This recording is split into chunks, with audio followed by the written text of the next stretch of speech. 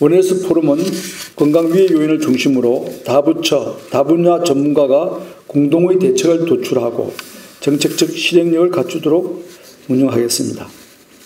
이 포럼이 감염병을 퇴치하는 마중물이 될 수 있도록 부처 관계자와 전문가 여러분들의 지속적인 관심과 참여를 당부드립니다. 원헬스 특이 특히 무엇보다도 체계적으로 다양한 감염병 발생으로